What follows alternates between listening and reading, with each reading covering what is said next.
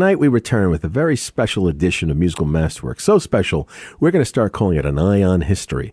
And I'm here with my usual guest, Esmeralda Mourikis. The topic? Food. It's a very impressive time of the year from Thanksgiving to New Year's, so get ready for a big conversation about food. All that's coming up next on Eye on History.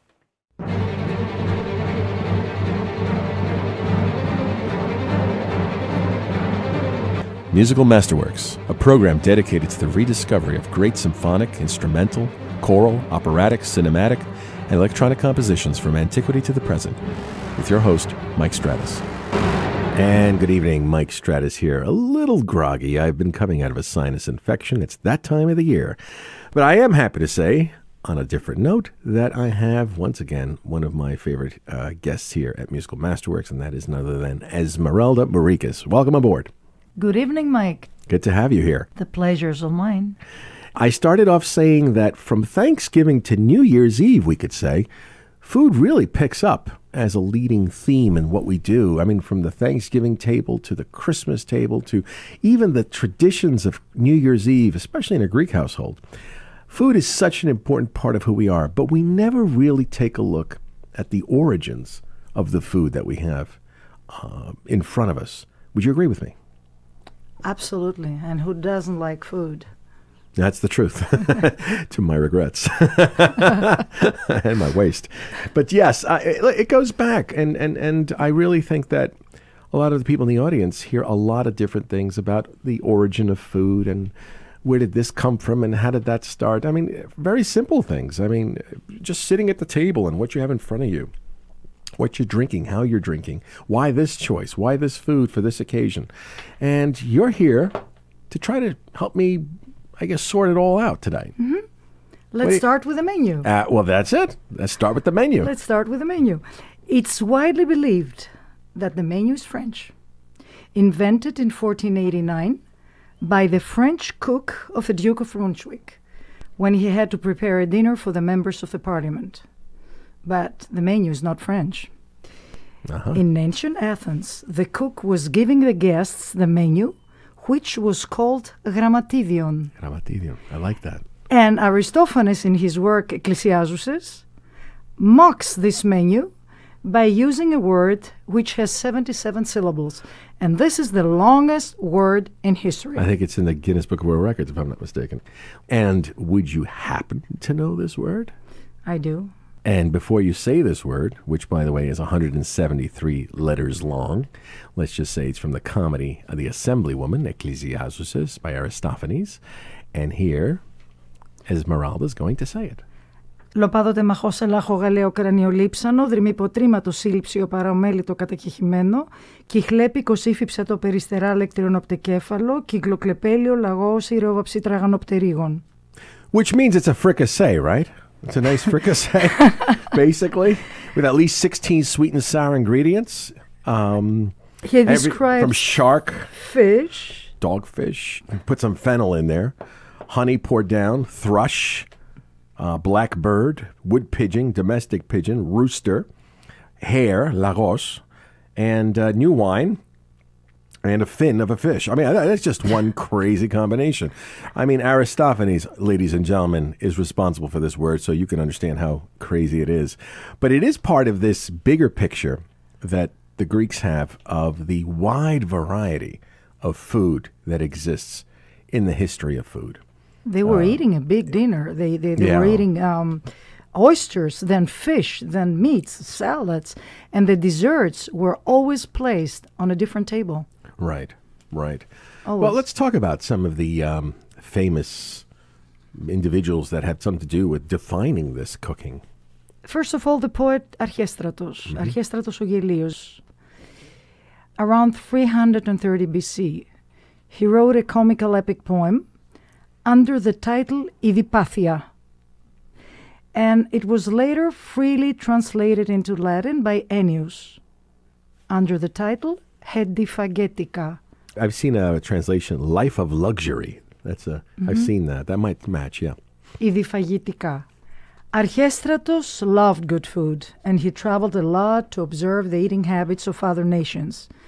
He was called Oisiodos ton Opsophagon, the Hesiod of the gluttonous. Yes. Opsophagos or opsomanis is another nice Greek word. Is the person who eats very fast, especially fish, with no bread. Yes, gluttonous. Comes from the word opson, food. In the Homeric years, the food was cooked on open fire, and for distinguished guests, the sons of the kings were roasting the meat on a skewer. Ovelias, souvla. Souvlaki. Souvlaki is nothing else than the ancient Greek ovelidion. There you go. That's important because a lot of people tend to misunderstand. They tend to attribute souvlaki to other cultures. And here you No. have in ancient Greece, with the ovelia, the example of the souvla, where you grill uh, meats on sticks. Yeah. Souvlaki, as we said, ovelidion in ancient Greece. Shortly before the Golden Age, the 5th century BC, we have the birth of the art of cooking. And at the beginning, the cook was called Mayevs, and later Mayiros. I guess it comes from the uh, mixes or migmata. They were mixing different ingredients to prepare the food. The evolution of the art of cooking from the Homeric years and until the Hellenistic years is described, and into the Hellenistic years Right, actually, right. is described by Athenaeus. Athenaeus uh, was around at the end of the second and the beginning of the third century AD. He was from Nafkratis, Oh, an ancient Greek city in uh, in Africa. Egypt. In Egypt, yes. in his work Dipnosophistes. This work includes also philosophic dialogues. There he mentions very famous Greek cooks, Chariadis, Thymvron, Nireves, Agis. And there we can read also the famous phrase from King Nicomedes. Ουδέν μάγειρος του ποιητού διαφέρει, νους γάρες την εκατέρο τούτον τέχνη. There is no difference between a cook and a poet because both arts Absolutely. need a brain. Absolutely. and uh, it's very interesting that Athenaeus also describes different kinds of foods and how they were preparing it. Keftedes is nothing else than the ancient Greek kopti. Kopti. Moussaka, hmm. dolmades, yuvarlakia are Greek. The strong spices and the fat was added later when the cooking was influenced by the Turkish and the Oriental cuisine. But if I may interrupt for a second, the fact that some of these things may have names that may not sound Greek or maybe are not Greek doesn't take away from the fact that their origin is Greek. Correct. The pure Greek cooking is not heavy, not spicy, not oily, but refined and light. Let's also remember that Aesop was also a cook under his master Xanthos and under his master Iadmon in Samos. Mm. And the best cooks, the best Greek cooks, were from two islands, from the island of Andros and from the island of Chios. That's amazing. Wow. Andros and Chios has some of. The and best Chios, cooks. the best wow. cooks. People from Andros and Chios, listen to that. You've got a reputation to keep up. Go on. So, actually, we have four periods in the evolution of cooking. The first is the period from the Homeric years until the 5th century BC. The second is from the 5th century BC up to and including the Hellenistic years. The third, Rome and Byzantine. Fourth, post Byzantine until the Renaissance. And from the Homeric years until the Renaissance, all the foods of all nations have the seal of the Greek art of cooking. We should also mention that Greeks conquered Rome first with the cooks and then with the philosophers. That's a very good point. and that's often true that the, the the palate strikes first before the mind many times. That's correct. And so talk about some of these um, these these cooks um, in the Renaissance. Uh, what were their ideas, their their thoughts? First, I think we need to mention that when the barbarians came from the Oh, northern okay. Europe, the cooks went to the monasteries. And that's Yes. where the white talk comes from. Right, and tha that's where it's worth taking a look at the medieval uh, period in, in, in cuisine that we sometimes hear much about. When I say medieval, we're talking about the um, Eastern Roman period, the Byzantine period. Um, some of the interesting ancient concepts continue. There is, of course, uh, Esmeralda, if I'm not mistaken, the sense that the spices and the trade of the East are going to play a role here a little more than in ever. Yes, that is Uh, correct. because after all, Constantinople was at a crossroad Mm-hmm. in, in, in the Mediterranean and the European and Eurasian, actually, uh, world.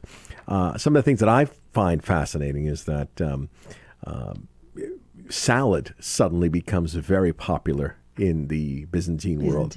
Uh, you mentioned it before, but there's a great little story that uh, Emperor John VIII Palaiologos had visited Florence back in the, I think, 1439.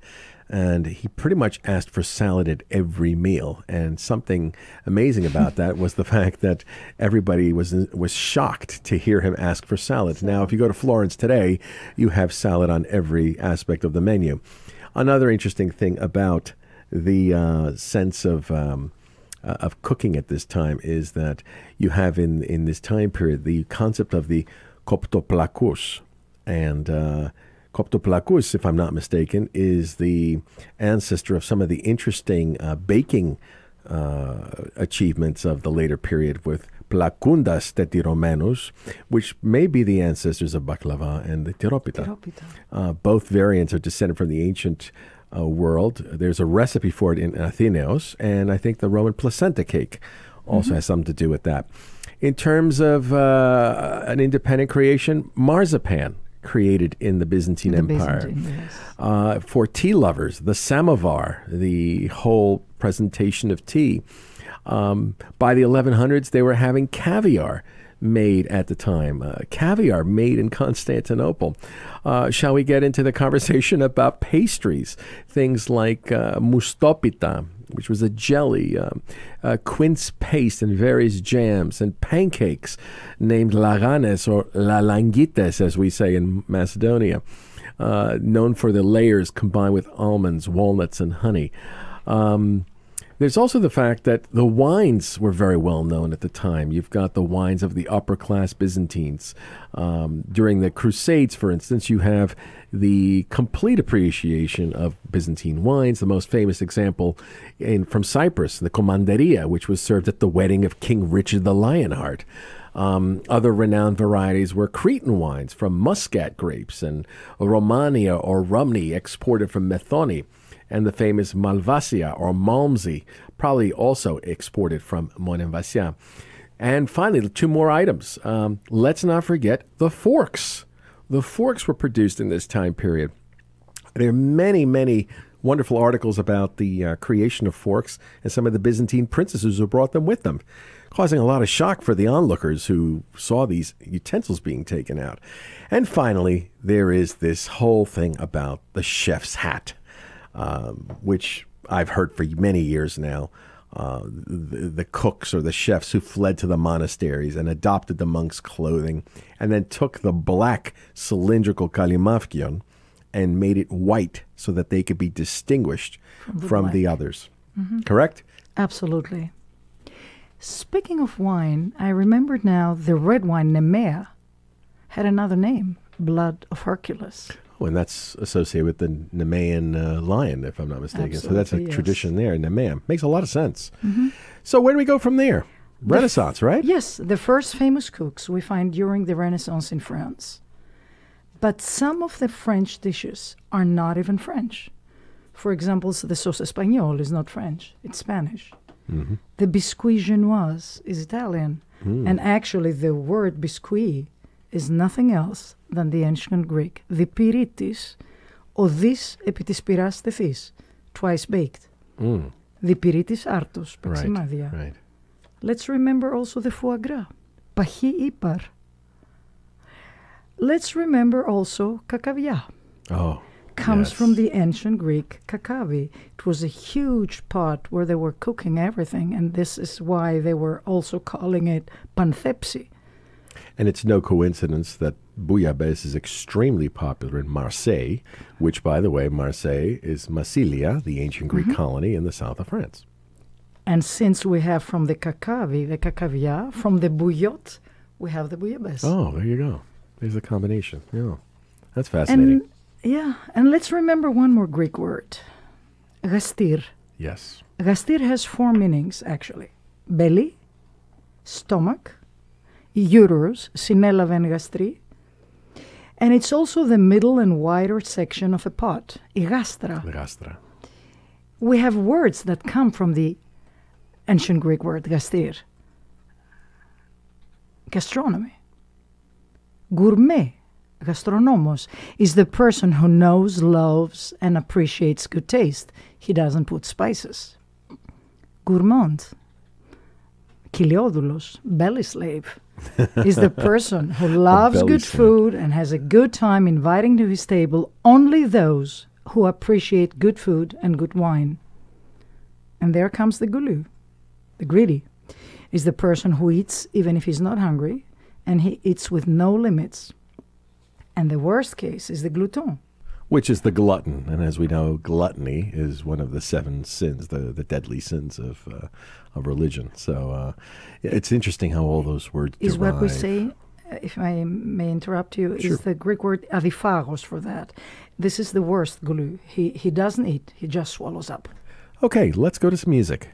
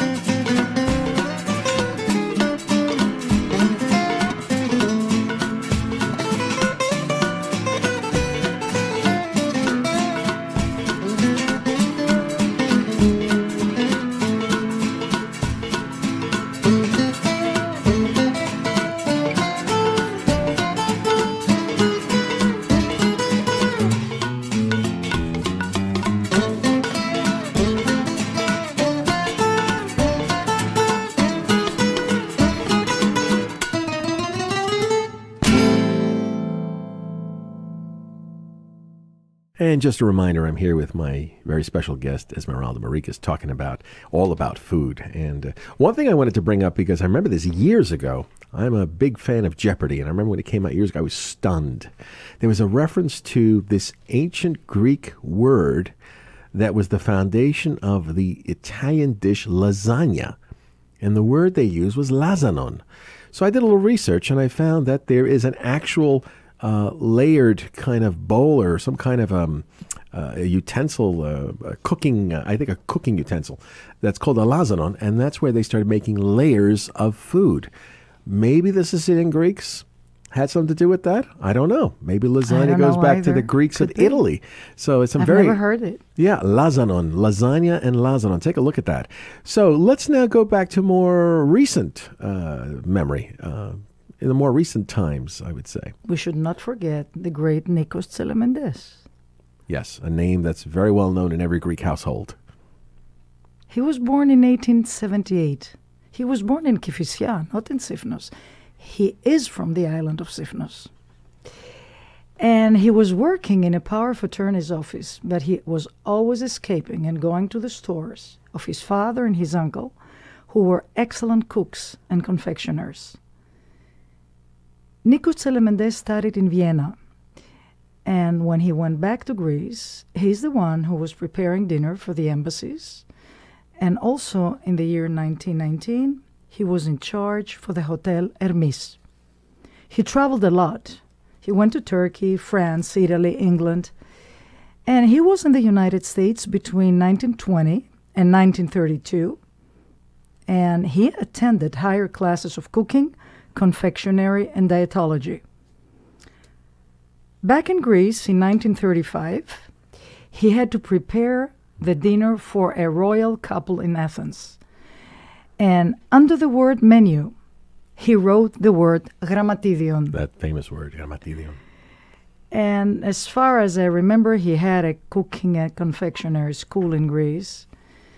And if I'm not mistaken, he passed away in 1958. Mm, okay He 1958, believed yeah. in what Hippocrates had said. «Και γάρ επληρώσεις εις το έσχατον αφηγμένε χαλεπέ και πάλιν εις το έσχατον λεπτότητος αφηγμένε δίαιτε χαλεπέ». That means if you eat a lot, it's harmful. And again, if you do the finest diet, is also not beneficial for you. There's a lot of good sense there. Because if you don't like it and the doctor forces you to eat something that is nutritious and you don't like it, you won't digest it. You won't like it. It's not good for you. My wife always says in the kitchen, food is medicine. And she's right. She is a- absolutely yeah. right. That's what uh, believed. yes.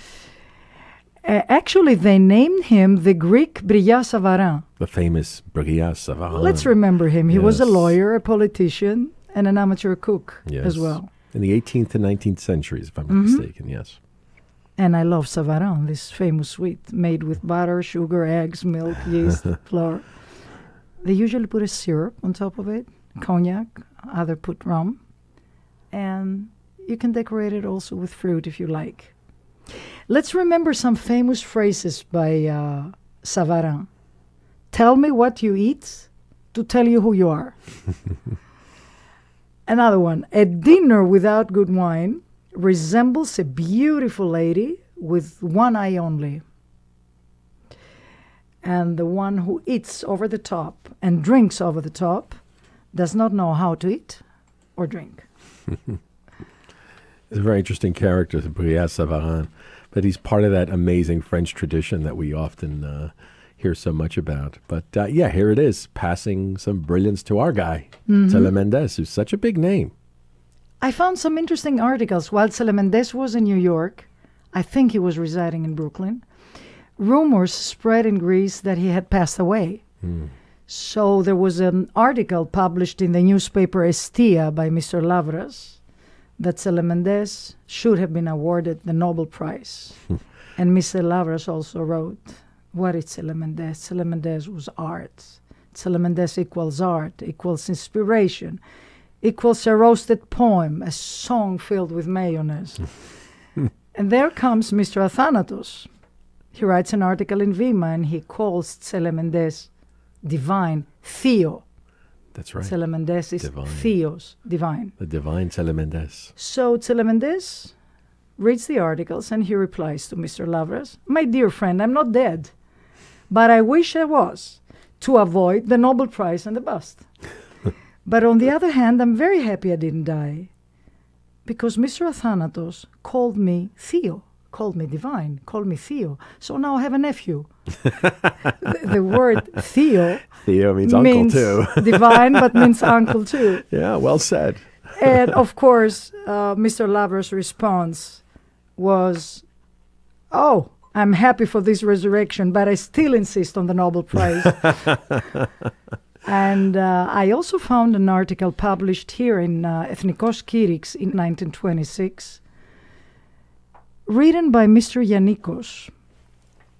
Mr. Yannikos writes that cooking should be a science let's say the creation range of a cook is bigger than the voice range of a tenor. That's a very deep statement. Yep. And there comes Nikos Tselementes again in Ethnikos Kyrix, April 7th, 1926. And he writes that unfortunately, this cannot happen because people don't think highly of the cooks. And anyone who thinks how important the art of cooking is, he will be probably mocked, like the senator in Chicago who highly praised the cooks. That says a lot. Um, it's very sad that that was the impression there was at the time, and yet you turn on these channel um, on TV. You turn on some channels, and you got so much going on about chefs and cooks, and just constant, constant, constantly going on. I just want to bring up that uh, I remember as a young boy uh, rummaging through the kitchen in uh, in in my mom's. Uh, uh, closets. Uh, the, the closets had some books that she had her recipes, and if I'm not mistaken, there was a Telemende there, and uh, that's the book. I think everyone has a Telemende uh, somewhere in the house, and uh, you take a look at it. And I, being a young kid, I just looked at some of the pictures or whatever they had the print, and that was the end of it. But I do remember one thing, and I, you can verify this for me, Esmeralda, that it was was it Telemende that brought the bechamel cream to the tops of any Greek uh, foods like the um, was it pasticcio or Absolutely. yeah. Yes. It was his uh, introduction of the bechamel sauce I do have that book actually. Oh, It's you from do? the 30s, yeah. from the 30s. From the 30s. It looked like a pretty old book, I'll tell you that. the eighth edition was in 1938, wow. so he started really early. Wow. That's amazing how so many of these things are in our face for most of our life. And then one day we realize that book has a, as a, as a it's a whole legacy. It's a tradition of so much, so many things that we take for granted, especially when you eat in a Greek household and you assume these things just happen because your mother's standing there cooking it all the night, all the time, every night. So, um, well, anyway, is it time that we should go to the news? Um, yeah, let's let's take a quick break, and we'll come back after the news from Greece.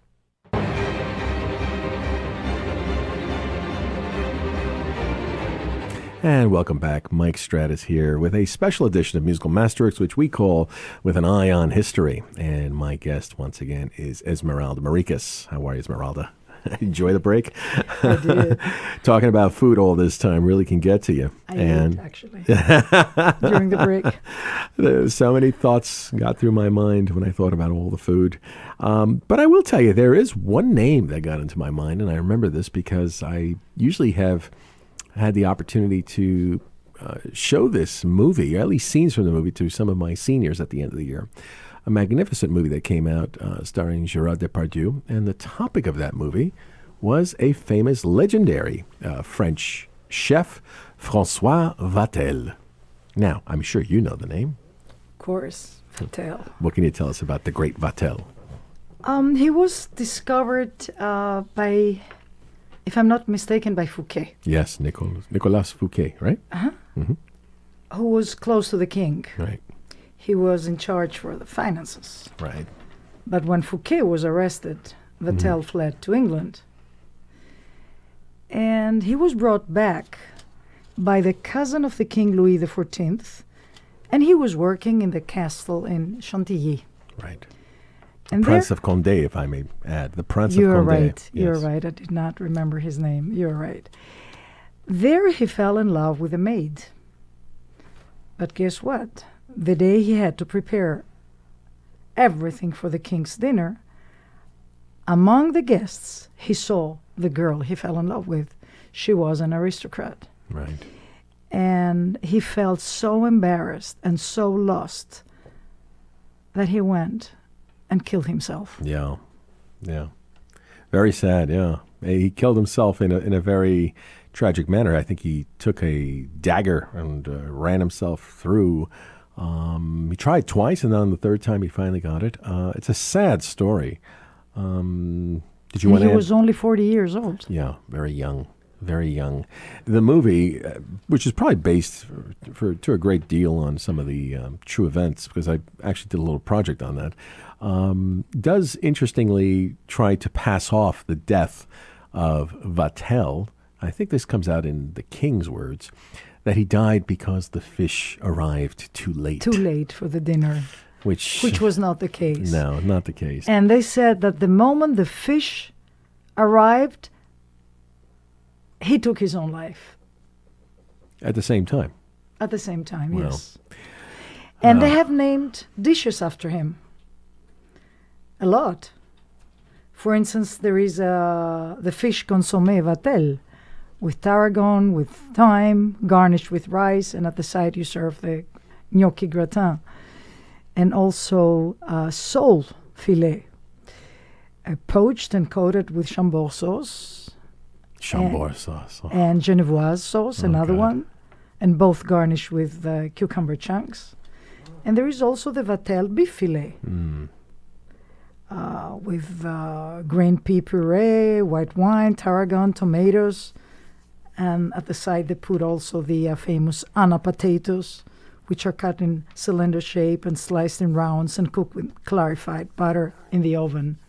But he we cannot give to him the ownership of crème chantilly, if I'm not mistaken, because a lot of people misunderstand and they think that he created the chantilly cream.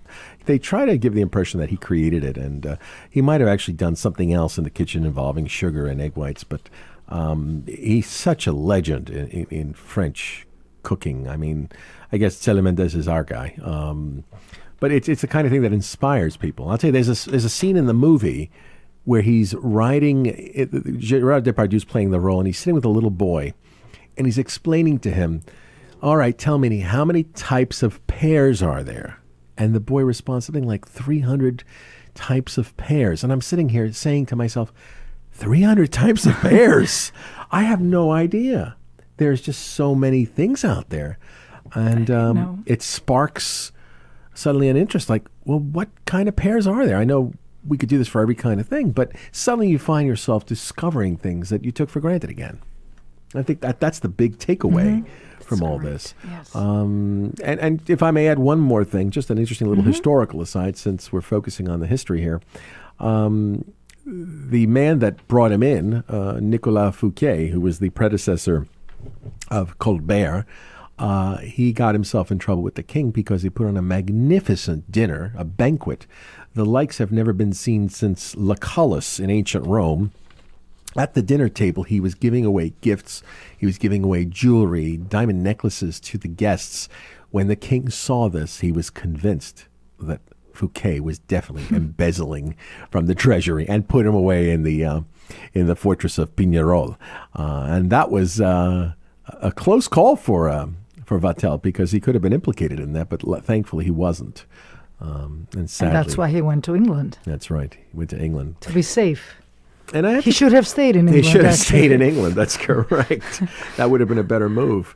Um, so the story of Vatel inspires, as does Tselementes, and so many great names. I mean, you mentioned before Archestratos. Um, Apicius is another name that I hear about. Um, he's another great uh, chef from ancient times, Apicius, uh, known from that time period.